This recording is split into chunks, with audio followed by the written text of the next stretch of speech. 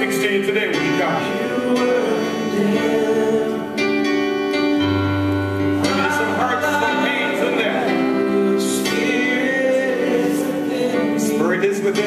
Maybe there's